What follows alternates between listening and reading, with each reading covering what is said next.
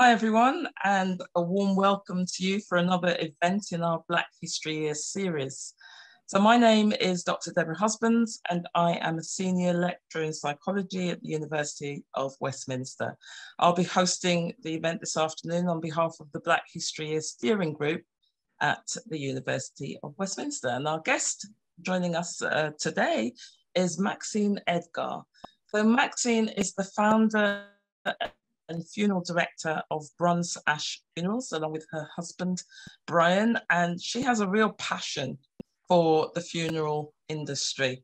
Uh, she spent a lot of her sort of working life, if you like, engaged in all of this. Um, and she puts an emphasis on death culture and desires that the topic of death is better approached and not feared. So her knowledge of the industry is in depth and she continues to perfect her understanding while embarking on further academic studies in that area, such as a master's degree in death, religion, and culture, combined with ongoing studies in theology. So she comes to us well informed.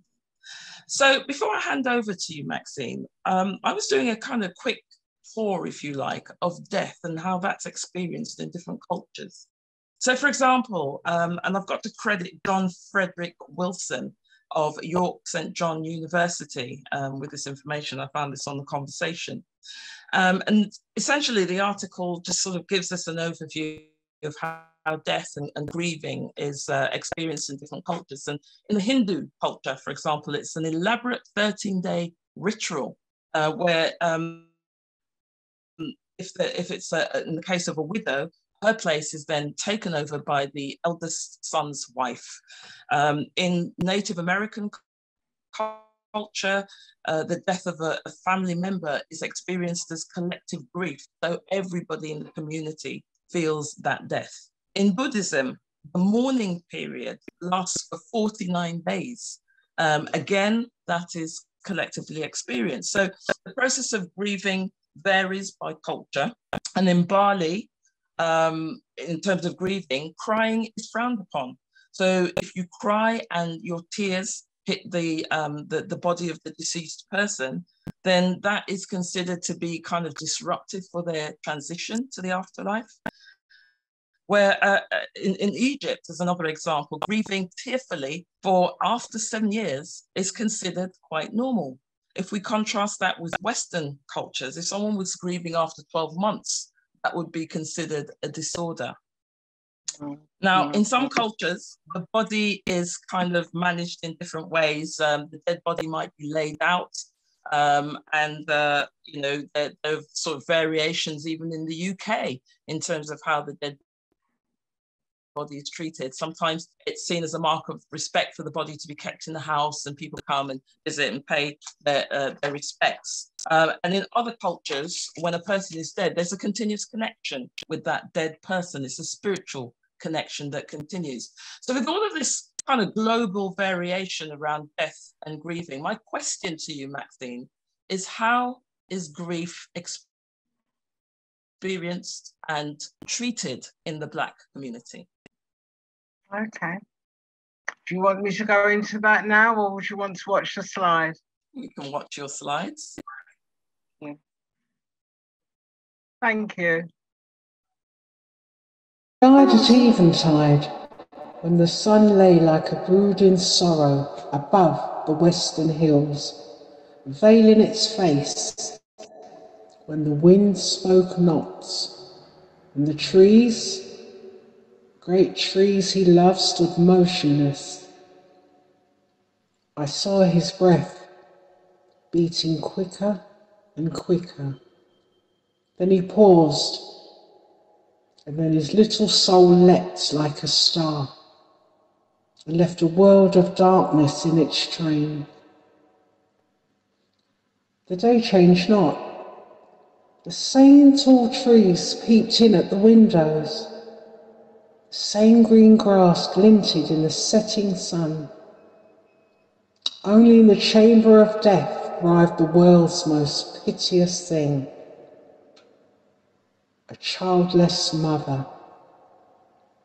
Hearken, O death, is not this my life hard enough? Is not that dull land that stretches its sneering web about me cold enough? Is not all the world beyond these four little walls pitiless enough? But that thou must needs enter here, thou, O death,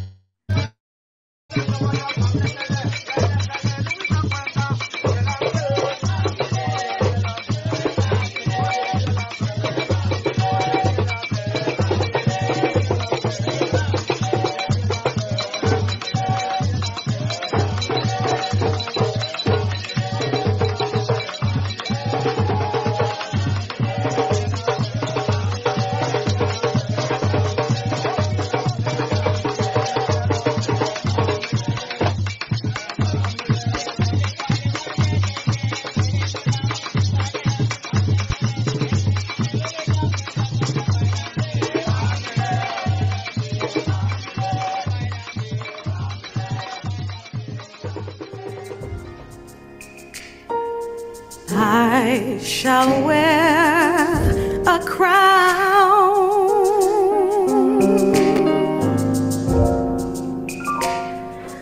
I shall wear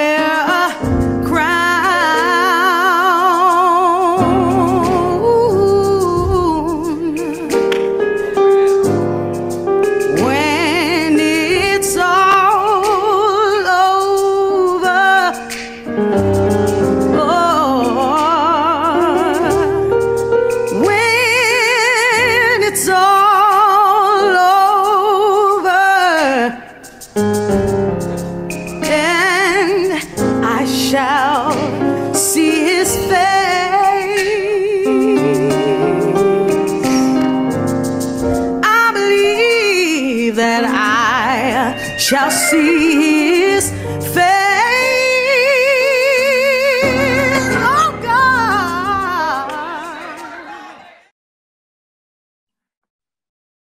Good evening, Dr. Deborah, and thank you for the privilege of having me share my findings on death and our cultural practices within the Black community. Um, I've had to write a few notes because the, the, the subject is so vast um, and we only have a certain amount of time with which to cover most of the topics that I have here. And what you heard initially was a monologue um, from an account um, from American sociologist Du Bois, and he's given a, an account on the loss of his son, on the death of his son, um, from his book, When Black Souls Die. Yeah. And, and this account speaks from the heart of where he was as an individual mourning the loss of his son and also the loss, the, the bereavement of the Black community. It drew a bond with grief, with loss. He's not dead, not dead, but escaped. Not bond, but free. And From my findings from, uh, from the days of our enslavement until today, the practices and the belief systems are very much similar. Here, Du Bois's expression of grief was a bond between his individual loss and the experience of a collective community in Black America. It was a revelation of the cultural dimensions of Black experience with death and dying. And what we're going to do, we're going to go through some of the slides and, and I'm just going to share with you my findings, how we've got to where we are today and the similarities therein. So I'm just going to look at some slides now. After the monologue, you'd have seen there was a headstone of a slave. And that headstone states, Hade Black, born a slave, now free. Death, the burial process was not um, an automatic right for the enslaved. It depended upon their status, how their, their death, how their burial was handled. So if you're a house slave or a plantation slave, will depend on how your body would be handled, i.e., if you're a house slave and were in favor with your master, he may give you a decent burial. You may be able to have a decent box and be buried in a sensible place and have a rock or a marker i.e., if you unlike the plantation slave, unfortunately, your carcass could be left there as a deterrent.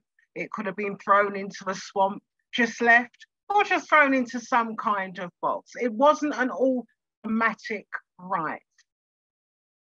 And slaves asked for this right for a burial because the, the, the burial was the one ritual, the one event that held them together. It was the one event where there was freedom. And also the homegoing ceremony was something to be celebrated. When we think of the life of the, the enslaved, the, the displacing, the, the brutality, yeah, the loss of identity, death was a way out. And so it was celebrated and had to be celebrated in a particular fashion. It said here, and this was a point that I read, there was one thing which the Negro greatly insisted upon, and which not even the most hard hearted masters were ever quite willing to deny them that they could never bear that their dead could be put away without a funeral. And so funerals were held for slaves. And the way that they would work is in a very similar fashion to what we're still doing today. There would be an informal messenger that would beat the drums. It would be called the death call.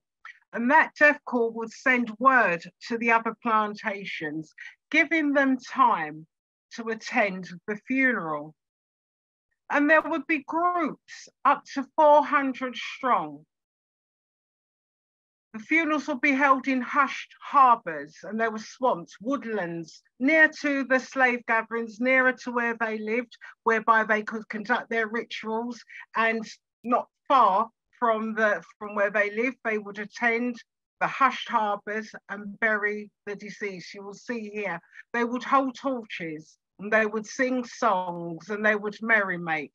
This was a time where you would have throngs of four, 500 strong enslaved people, and maybe two or three masters, slave masters, feeling under threat, may I add, because there was a time when they stopped the funerals, feeling under threat. They would sing songs, swing low, sweet chariot, begging for the death. And as we, we today we do a similar kind of ritual where we will hold vigil, have wakes, um, and we'll come on to that later on. So this is what they would call a torchlight ceremony. And there would be a leader, some type of preacher that would come with the word. And they would take the body to the hushed harbour where the body would be buried and the men would shovel and fill the grave. A practice that we do even today. Uh, it's not so much in America where they've got sepulchres and they've got electronic devices, but here in the UK, it is a practice that we fill the grave. It's called a witness in fill. And this is a practice that I believe that has carried on from the days of slavery. And you will see here that there is still the merrymaking and the dancing. Very much. I mean, as I look at this now, I, I can see, if you look on YouTube, you'll see videos of where we, we carry out these practices. Some will call it a celebration of life. Well, it was then. It was a celebration of death. Okay, we can we can move on. Once the the the the the, the grave had been filled and the men had filled the grave, you can see here they've got the um the shovels here and the rituals have been performed. What they will do is they would hang cups and saucers and familiar objects onto the grave. And these objects were to ensure that the spirit didn't come looking for their bits and pieces in the home, yeah, but would return to the grave. Sometimes they'd even pass a child over the grave. This is something that they still do now, I believe, even in the Caribbean. They will pass a baby over the grave, and so the spirit would protect the baby. But even now, with some of these procedures and, and, and rituals, it's said that on the ninth night, which we'll come to in, in, in one of the um, slides, on the ninth night, the spirit has to be banished. But it's expected that the, the, the spouse of the deceased, especially if it's a husband that died um, and, and, the, and the woman um, is still alive, she would be expected to turn her underwear inside out, turn her bed around so that when the, the husband came looking, he would not find his wife. And it's really funny how quite often it's always the man with these myths and fables, always the man, not the woman that dies. Um, and it's indicative of the high percentage of males that died um, during enslavement. Uh, a wife would wake up and he'd just be gone. No questions asked, no one to answer to. He'd just be gone. Indicative of the black man being taken away or the black man disappearing, even onto today. So that was also a practice also red underwear is something that that's favorable now i don't know why red but this is also to ward the spirit away so very familiar practices that we have today we can move on with the videos when the enslaved became free and had some money of their own and would approach the white undertakers, they didn't want to know. They didn't want to know. What they would do is they would um, send them around the back. Uh, they wouldn't embalm them. It was a substandard service. This is now in America. The hearses were broken down. Even, even when there was money to be paid, uh, the black man was still not accepted. And so they pulled together, if we can have the next slide, thank you, Dominica. Pulled together as black undertakers. Uh, and many of the undertakers, and I mean all undertakers, they started with um, carpenters, carpenters who could build boxes and build coffins. This is black and white. Um, and you'll find that the history, when you look into the history of many undertakers, they were they were coffin makers yeah, woodworkers, cabinet makers, that kind of thing. So when blacks had enough money of their own, they pulled together and they created their own funeral homes. And what they would do is they would offer one another the finest. So it was the finest casket because they had been deprived during enslavement. They would create the finest. So they wouldn't be, you'll see here, with all the sil- silver and the, the metal work and the carvings, even until today. Caskets, that's that's what they would give one another. The, the, the Black funeral director was the hub of the community and also social activists for the Black community. They were a voice because they were not allowed to be part of the federations. This is actually my uncle's funeral a couple of years ago. Uh, the black funeral director was not part, was not allowed to be part of the white federations. They were still at the bottom of the list. They were still rejected, but they became the hub of society. They became the mediators, the barristers, the judges, and also the start of entrepreneurship within the Black community because this is the one thing that the Black community have always done well, and that is funerals. We can have the next slide, please. And even today, you'll see how we have memorialization. This is another way of how we handle our grief with the memorization and we have the, the, the pamphlets. Sometimes they're A4, 12 pages strong, depicting the deceased as almost celebrity. That's what the memorialization does. That's how we, you'll see here, that's actually my uncle. He liked bells. On the front of that, there was a Jamaican flag. So it was representative of him and the life that, that he lived. Thank you and we'll move on to the next slide. So here we have a viewing, and those are his, um, his nephew viewing. What we also have um, for, for historically, there are certain certain certain practices and rituals. The opening of the coffin is one of them. You know, as soon as the individual dies, they are embalmed, automatically embalmed. And we have what we call casket sharp you are to look your finest in your casket. Yeah, you're going home to glory. You're going to meet your maker. You can't be shabby. Women normally were dressed in white, head tied in white. You'll see the white satin on the on the coffin. Casket sharp, your finest. And it was said that if a casket was closed, the funeral director had not done a very good job. And that's one of the things you'll find if you ever attend a black funeral and they open the coffin, everybody wants to look. And I mean, practice is something that we've been doing for years and years. Everybody wants to look, everybody wants to see. Thank you. So what we have here is the drummers. And um, I didn't get the chance to do it, but what you would hear is you have the original drumming um, earlier on in the in the frame, but later on now we are still playing those tunes at the nine night. And the nine night was a vigil or a wake that will be held over a period of nine nights after the death of the deceased.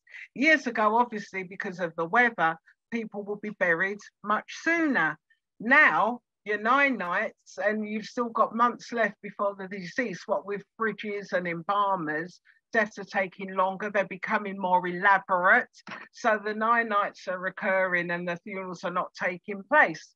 However, the nine night used to be an evening of jokes, of dancing, nothing to do with God. Nine nights are not scriptural, they're not biblical. Nine nights are telling ghost jokes, old stories, and songs, and a time of gathering and keeping up the family until the ninth night and then you would have a setup on that night and you would set up you know all night long. Very similar practices we still uphold today. And if you can see here they've got thanksgiving tables that they used to have where they'd, they'd put out food and fruits. And that's very similar in some of the buddhist cultures for the for the spirit of the deceased. And you can see they've got the the familiar clothing on. That was what the nine night was about Nowadays, it's changed somewhat. It's a generational thing. People are more having parties and celebrations on the nine night. And here you can see another viewing, viewing of the deceased, which is something um, something that, that, that we, we, we just do. People just want to see the deceased. Um, I found now that with a changing generation, fewer of that younger generation, they're quite happy to spend time with the deceased once they have died, as opposed to opening the coffin in, in the church. We had a funeral for a baby today, and the parents spent time with him when he died um, and, and didn't see him again. Um, but the, the viewing is very, very popular. And in some cultures, I find, especially with the African um, community, they must view, irrespective of the condition of the body, whether it's been embalmed, whether you've had it three months, they must view. And here again, we have Casket Sharp, Aretha Franklin, uh, who had three different um, changes of clothing during her three-day um, memorial, might I ask. That's what it was. And here you'll see the Promethean 30,000 pound golden casket, steel gorge, sealed. Um, that's what she had, casket sharp. You're going home to glory, you're in your finest, you've got to look your best.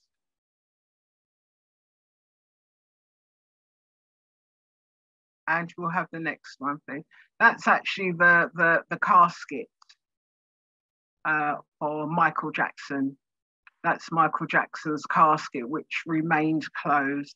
I think also more and more people are being considerate. This actually was the casket for George Floyd, who was murdered by asphyxiation and who has changed the course of the world.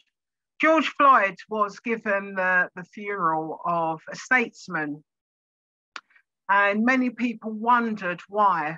Why, why could this person who was a nobody, apparently, I say apparently, a thief and a drug addict, um, who was thought to be in suspicious circumstances, have a funeral on such a large scale, and where did the money come from?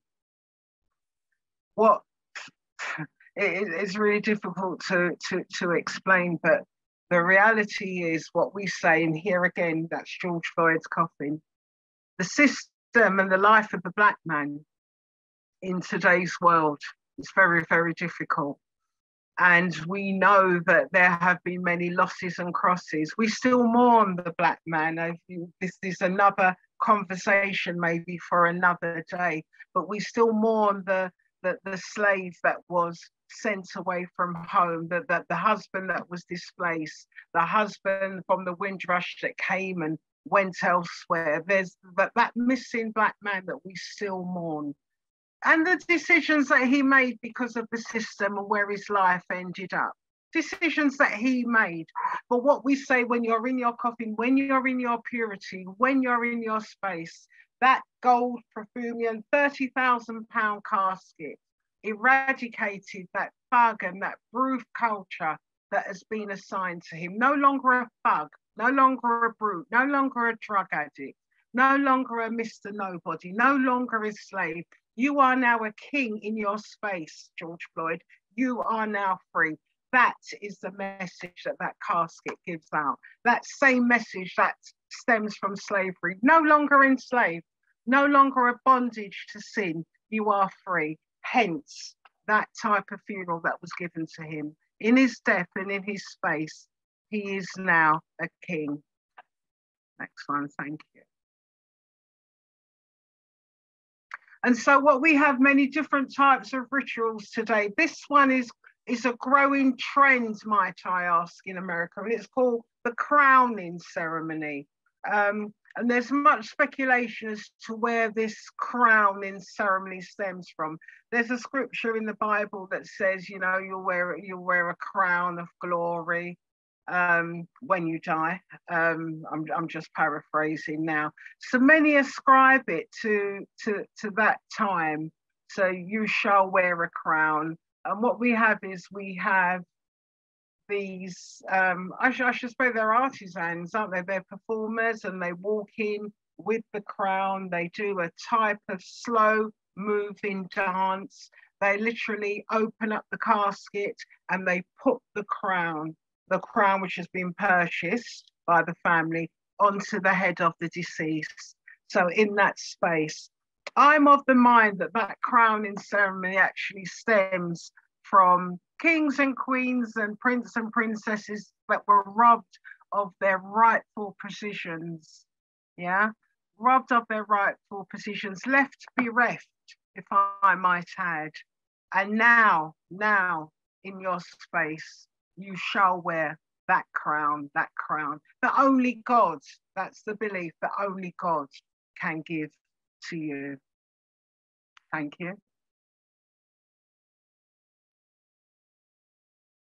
Quite elaborate. And the next slide, please. And here we have the t-shirt culture, which is still very much part of what we're doing and very, very popular now and what the the t-shirt culture does i mean in the years ago with the t-shirt, you'd have a face of a celebrity on it. This is all now forms part of the celebrity status. The t-shirt culture actually started um, with gangland violence and gangland deaths So the person that died would be put on the front of the of the t-shirt and everybody would wear them. They, they, they have them printed up and they sell them memorializing the person giving them that celebrity status. And as you can see also decorating and the wrapping of the coffin. We've been asked to do one today in my funeral home. Is also um, another form of memorialization. And how we handle death how we deal with death. Thank you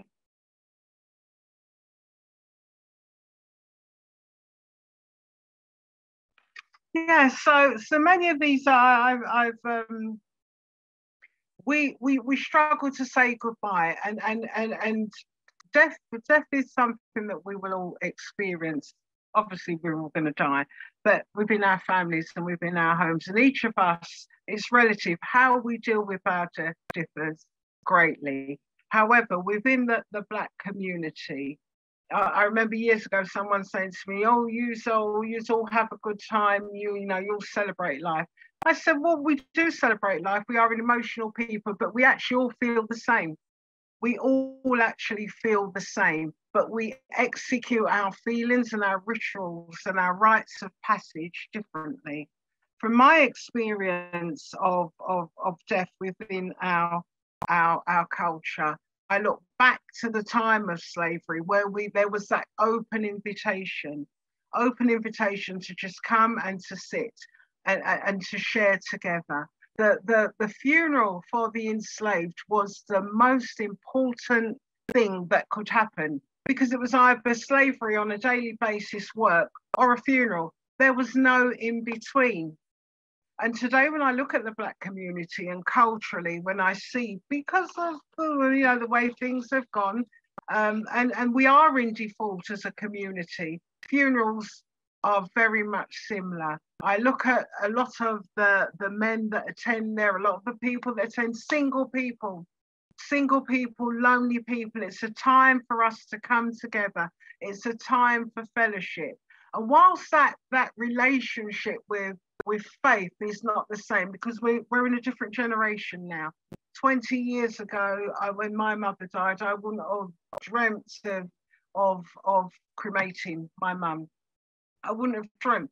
85% of funerals in the UK are cremations. I wouldn't have dreamt of it. A couple of years ago, when my uncle died, it was thought of should we cremate him?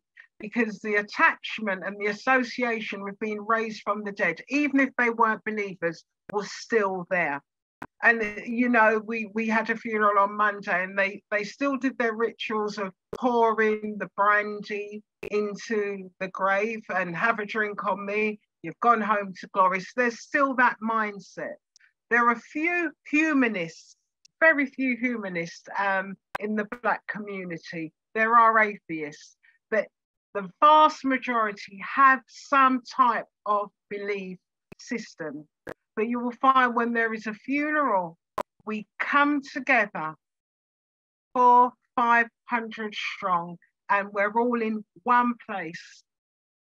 Togetherness, one people. It's the one thing that we do very well, and we enjoy it we enjoy it. The way that we deal with with the deaf and, and, and facing the truth. We attended a nine nights on um, Sunday night. It was said that there was 1,200 people there. Had you have gone in blindly, not realizing it was a nine night, you'd have been under the illusion it was a massive party. Well, it was. However, each individual who knew the deceased was grieving. It manifested differently but they were in their grief. And that's how we do death. Thank you.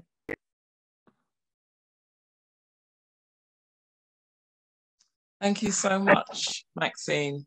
Um, really, really interesting thoughts and observations, and, and obviously drawing on your own experiences as well. Um, I really appreciated the situation of death, bereavement, grief within the kind of historical context of slavery and how that has essentially informed the way we do death.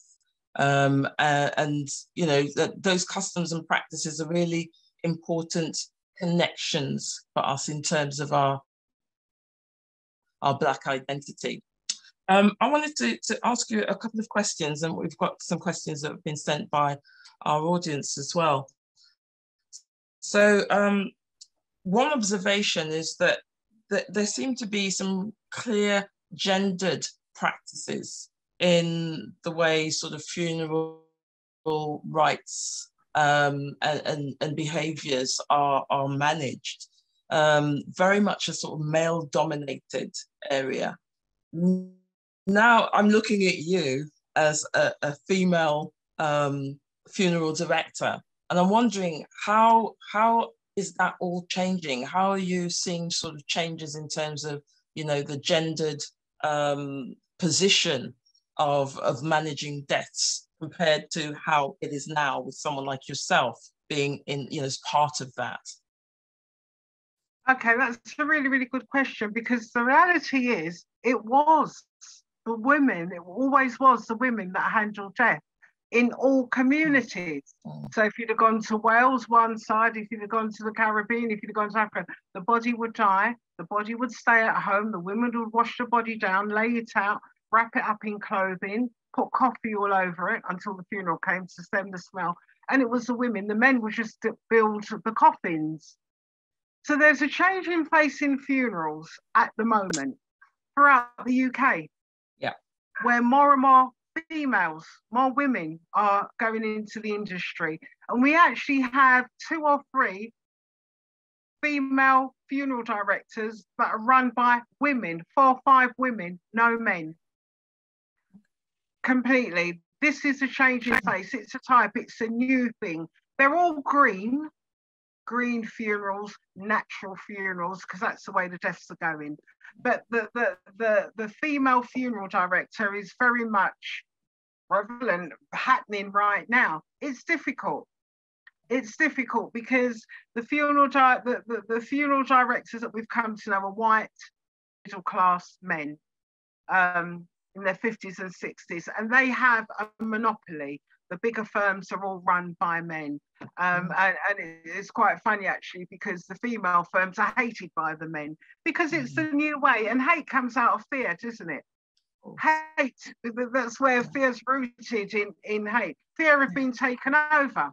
Mm. Mm. Yeah, and, and so that's where we are at now. But women are doing exceptionally well, and also women bring business. Mm. Women bring business because there is that compassion. I'm not saying men don't have it because they do, but for so long the funeral director has been monopolized by just like straight down the middle. This is a business, you know, and and you know not tick off everything as we go along.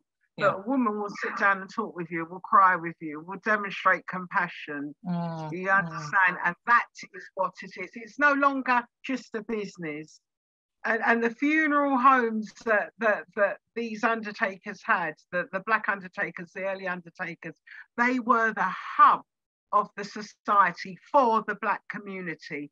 It was more than just coming into the funeral home to, to have a funeral. It was a place of love, a place of care. It was a bank. You could get your funeral on credit because we were not getting the care that we needed as black mm-hmm. people. Mm-hmm. Mm-hmm. Yeah. Okay. Yeah. So a lot of your your presentation centered on slavery, um, and you know we, we sort of really explained a lot of the practices that existed um, around that time. And we've got a, a, a question, I suppose, from Cheryl. Um, that it was it's strange that slavery, she's saying, is such a feature in these practices, or, or why it should even be the starting point because uh, our culture is bigger than the last 400 years. So, do we draw on anything outside of slavery, beyond slavery? Um, the practices of, you know, sort of, uh, uh, we know the Nubians, for example. Are there practices that were carried in slavery that have then become perpetuated through the generations? Where is the is there a starting point for all of this? Do we start at slavery or do we look beyond that? Well, we start at slavery, look beyond slavery, before slavery. Who sets the benchmark? Who sets a benchmark for a practice that where where is the harm in continuing something that is so great? Mm. Slavery per se was a terrible time, but not all the practices that we developed during that time. And I mean, by in a process of default, we were forced to to to create a pattern of funerals. Do you understand? It wasn't a case of oh, we are slaves. Let's sit down. We were in default. We created a pattern of funerals many of which we still mimic today. And it's mm-hmm. funny that, that, that that is said because much of what we do, we don't know why we're doing it. We don't mm-hmm. know why we have the nine nights. We don't know why we have the drums. We can connect drums to Africa. You mm-hmm. understand? We don't know why we where we wear white. You know, so so it's an association, it's a correlation, a relationship between then and now, and why we are still doing the same things. Not that we should, but we do. Who sets the benchmark? Who do we follow? The Western world? I mean, I quite enjoy our practices and our rituals. Um, and and, and I, I'm really, really happy that we are still carrying them out. What, what I do think is important that we understand what we're doing and why we are doing certain things. Why you know, throughout. I mean, if you think about slavery, only a couple of hundred years ago. And, and for many of us, it's just like two or three generations away, you know? So there are still many practices, even when you go to the Caribbean, that, that have been, you know, that, that they're still doing, that have been executed since slavery. So, mm. yeah, I understand. Um, I, I enjoy the practices. Thank you. So, uh, a question here from from Debbie, and uh, this is really all around the, some of those practices that you've mentioned. So, the, the viewing of the dead. So, where specifically does that come from? Is that something that slaves would have done? Would they have had the time to have a body on display and everybody yeah, come yeah, and view? Or is that something that's evolved more recently? No, no, no. So what the slave would do is the person would die immediately when the person would die, the women would take the body, wash the body, dress them up in white, the body would be laid down, and they would sit around the body, touching the body, telling jokes, just like awake, awake. You know, the term awake is you kept awake with the body and with the family until the funeral. So that was something that was always done. Yeah, um, the body just sat in the, and you'll find that um, it's really, really funny because I was a celebrant. I was a funeral celebrant, um, and the funeral celebrant is a minister, religious or non-religious. Some people call us humanists. I'm not humanist. That will take ceremonies in chapels and so forth. And of my group that are celebrants, they're all white. They've done many more funerals than I would ever do. None of them have ever seen a body. Even as a celebrant, none of them had ever seen a body. It wasn't a practice, um, or isn't a practice. I mean, you have viewings, they have viewings in the, the chapel of rest, but the open coffin is not really something that that the um, the English community do, but yeah. but we do. Although there is less of it now. But casket sharp is very American. Yes, so, and this is something that I picked up in, in a lot of those practices that I was seeing there, and this idea of the crown and so on, that they seem to be very US centric sort of yes. practices and very flamboyant and you know, it's, it's like a New Orleans type funeral with the jazz band and all of that, you know, this, this massive sort of celebration and a, a whole kind of, it's almost like a coronation, the way, you know, it was sort of described, the crowning as it were. Uh, and I'm just wondering, uh, in terms of, you know, contrasting similarities and dissimilarities, how much have we sort of borrowed from the US in our current practices? And, and how much of, of them are authentically Caribbean slash African?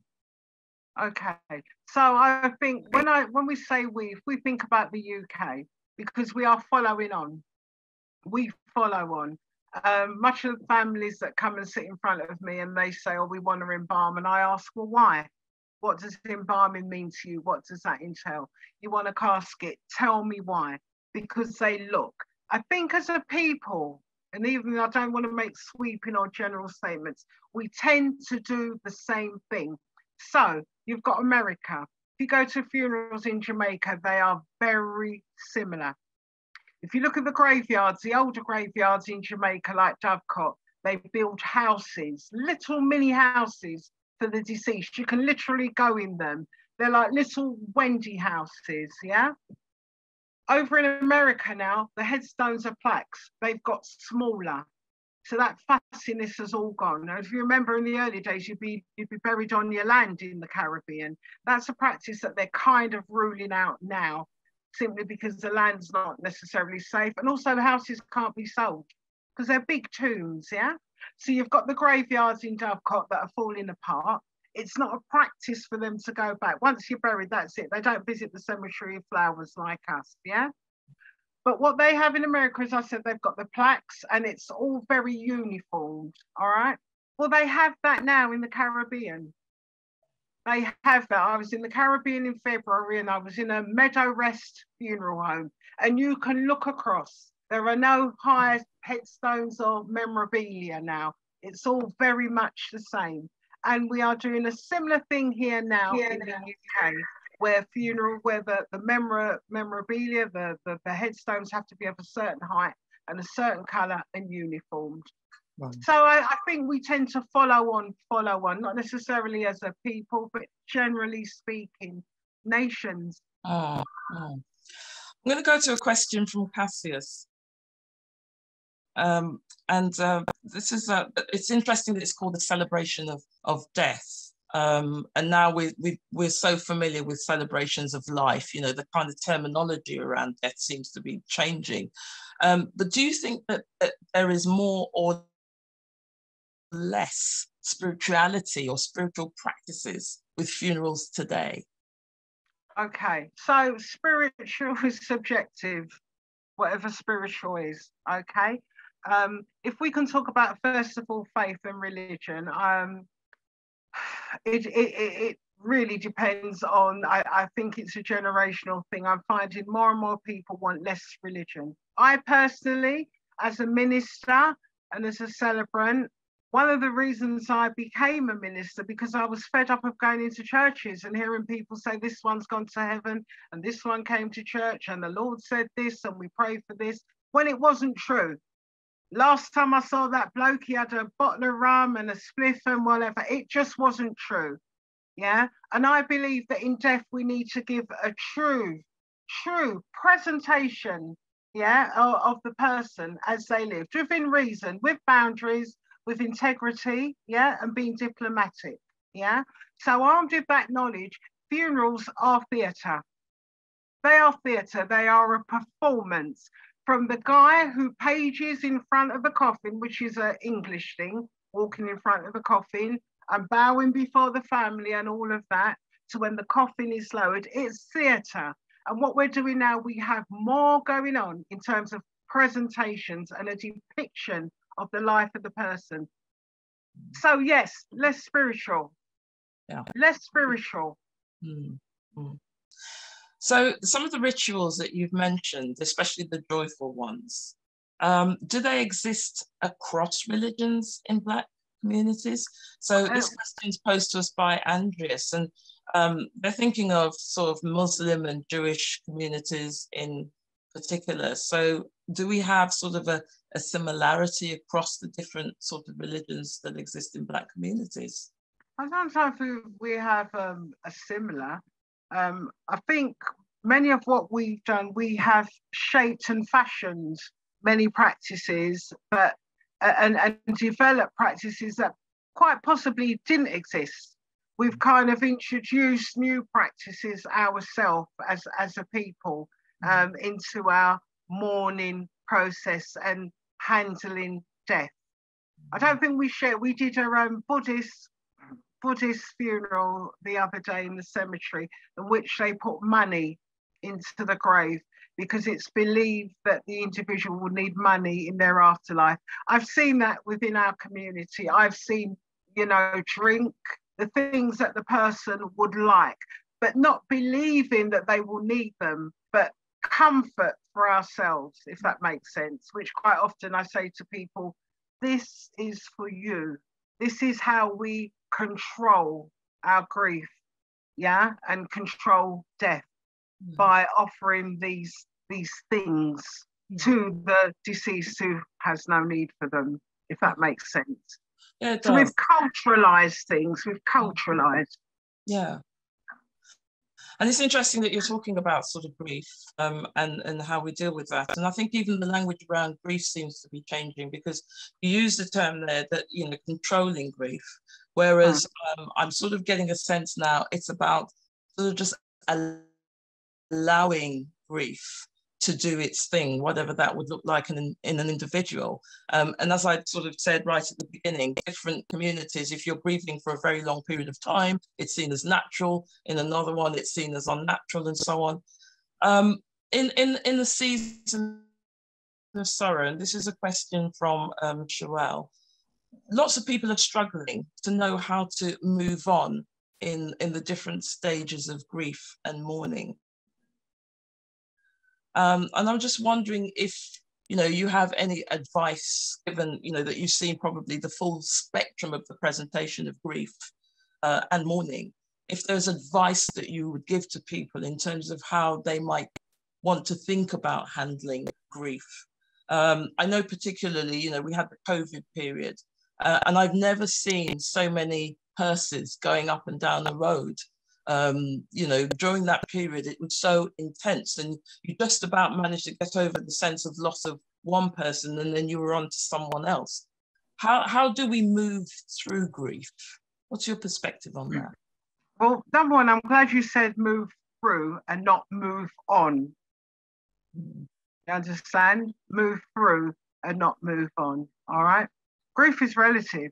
Grief is loss, okay? Not just loss of someone or something, yeah, but a loss of self mm. and whatever relationship you would have had with that thing or person. Mm. All right. Grief is a personal, a personal position that only you can negotiate.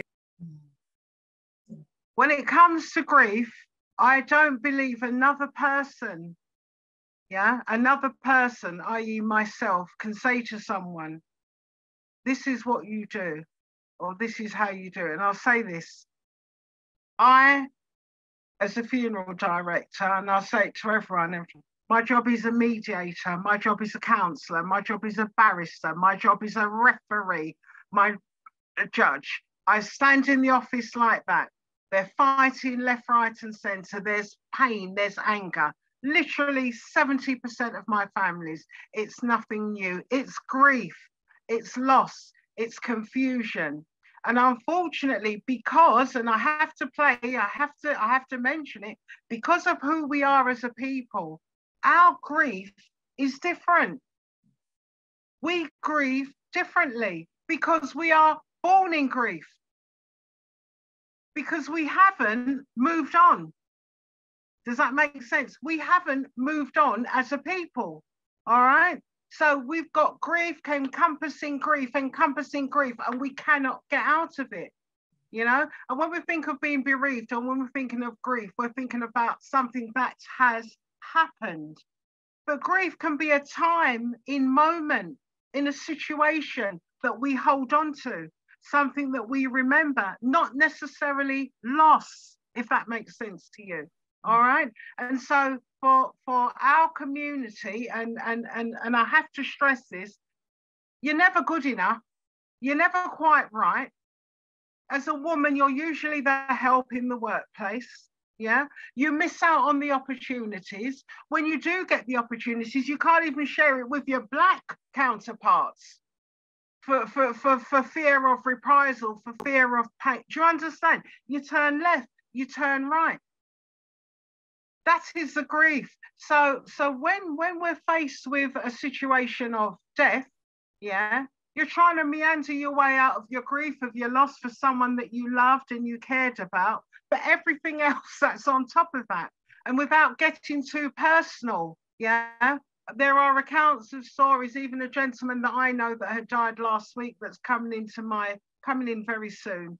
And and and he's just left a catalogue of errors, not by his own fault, but because of the system that he's in. They can't even grieve because they are grieving as a family for the problems that have been created, if that makes sense. They can't even get to the place where they're saying this loved one has died because of everything that was around him when he was alive. it's ever so sad. With COVID, we have become desensitized to death. We've become desensitized to death.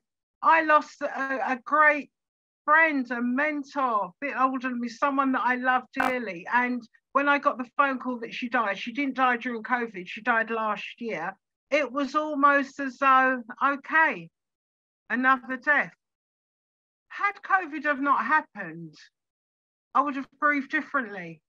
I now accept, well, you know, she's gone. And I can move on. Yeah. I'm not saying people have to move on and, and I, you move on, you deal with your grief in your, your own time. I don't think there's any right way or wrong way. I think you have to learn how to manage manage your grief manage your grief yeah? You have to look at you know why am i grieving? Am i grieving for the future that i had with this man we were going to run off into the midst or with this woman or you know am i grieving for the daily walks that i took with because it could be your dog that i took with my dog. What am i going to do with my time or do i miss the dog? Do you understand what i'm saying? You have to come to terms where you understand what is my grief yeah? Is it that because the reality is it's not we are not made to grieve forever. And you'll notice that. You'll see somebody crying one minute and then you see them spinning on their head and dancing the next. We can't grieve for long periods of time. We're not made that way. It brings on depression. So there are coping mechanisms, a way in which we can manage it. But grief actually remains forever. It's managed. Mm. Really interesting. So, you know, this kind of also throws up the fact that uh, in our workplaces, uh, our institutions, organizations, wherever it is we spend most of our day, um, that the, the handling of grief tends to be very corporate. So there's sort of strict rules around it. You'll have, a, you know, we'll give you three days off to, to deal with that if it's a close family member or what have you.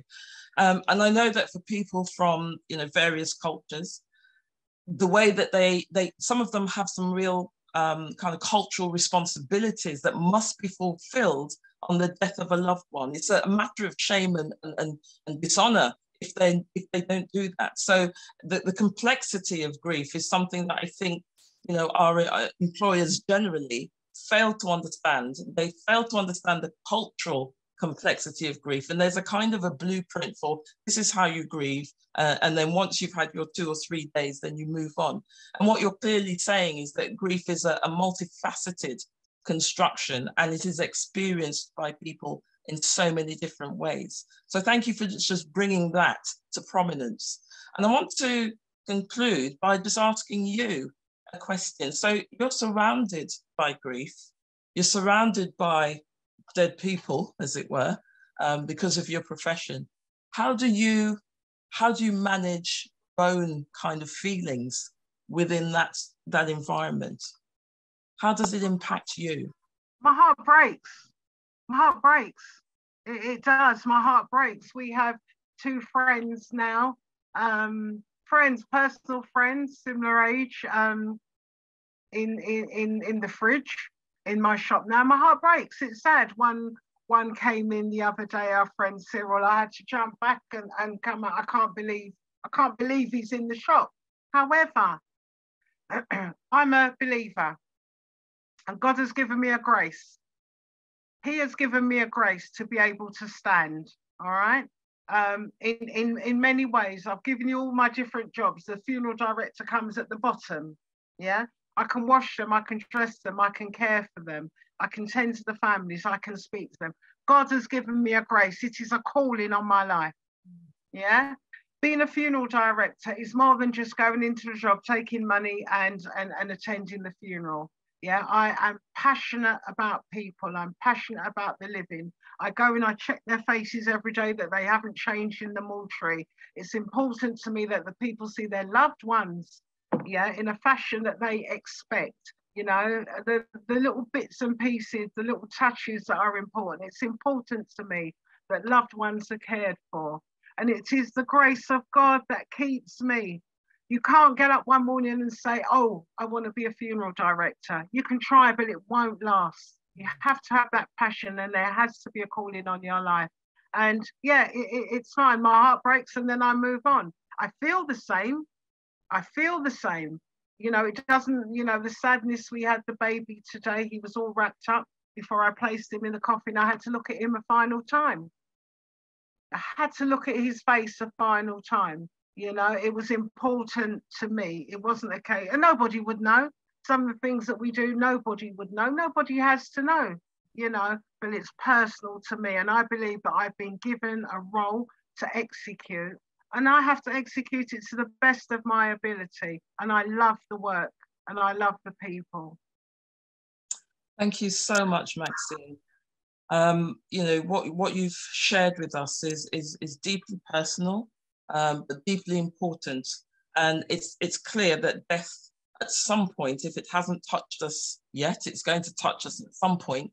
We're going to be in the place where we are grieving um, and we're going to have to find ways to, to handle, like you say, to manage the grief and to go through the process.